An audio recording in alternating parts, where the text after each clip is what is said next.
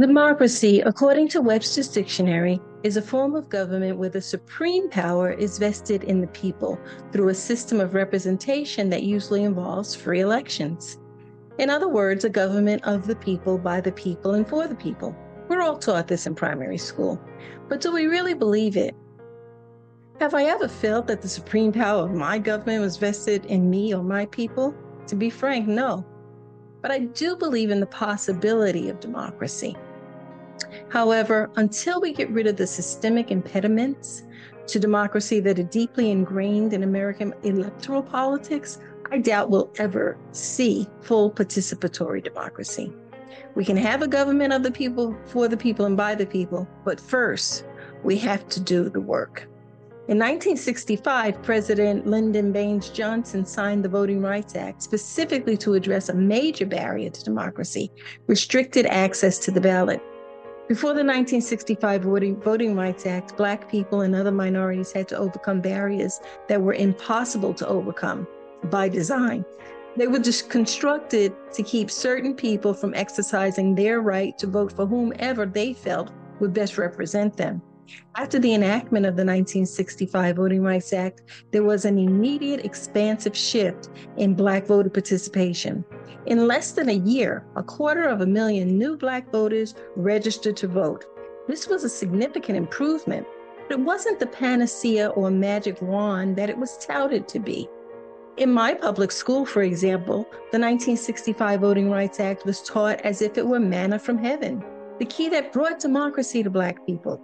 Never was it mentioned that there was a backdoor maneuver that would help to maintain the old status quo for decades to come. What we were not taught was that the Voting Rights Act applied to federal elections, not state elections. And as we all know, states have their own elections and their own election laws. Fast forward a few decades, and today we find ourselves dealing with the ramifications of a Supreme Court decision that effectively struck down the Voting Rights Act, Shelby v. Holder.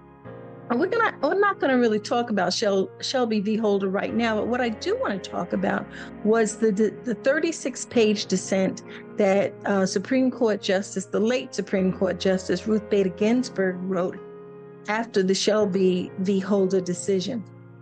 What Ruth Bader Ginsburg brought to my attention in reading that 36 page dissent was that there are a couple of different ways that people's uh, voting rights were impinged upon.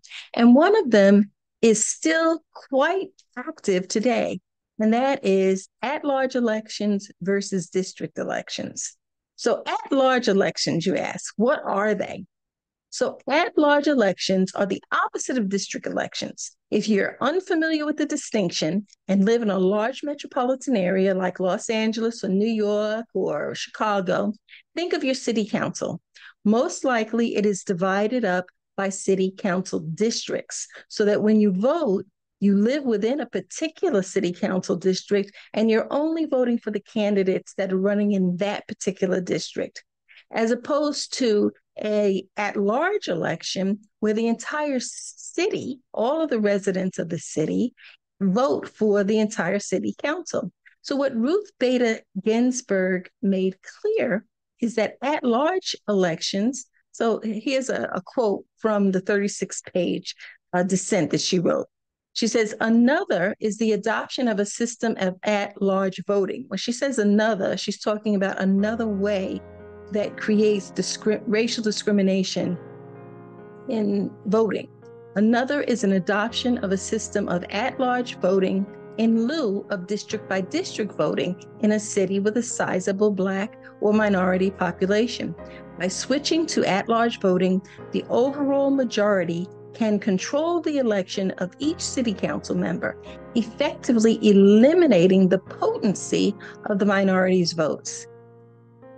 Fortunately, in the state of California, the legislators addressed this second generation barrier to minority voting when they enacted the California Voting Rights Act of 2001. The California Voting Rights Act is a state law that makes it easier for minority groups in California to prove that their votes are being diluted in at large elections by expanding upon the Federal Civil Rights Act of 1965. The California Voting Rights Act is settled law and has been in place for more than 20 years. But guess what?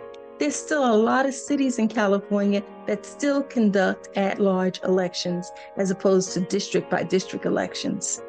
For example, the city of Lomita, California, a small bedroom community of South Los Angeles. The population of Lomita has, um, as of the 2020 census, is approximately 37% white and 63% people of color. But historically, that city has never conducted district elections. That is until this year. So if you go to the uh, city hall in Lomita and you look at a picture, and I'm going to put this picture up, you'll notice that since the city was uh, founded, there has not been a, a noticeable uh, presence of people of color on the city council. The California Voting Rights Act, which was enacted in 2001, requires that there be a district by district race, but it's not self enforcing.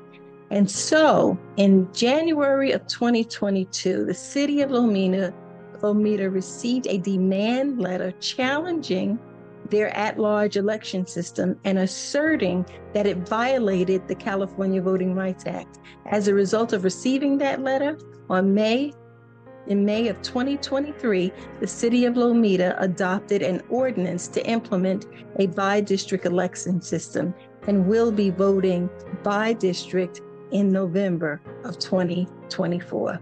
Congratulations, Lomita. You've just stepped into uh, the, the 21st century. Thank you.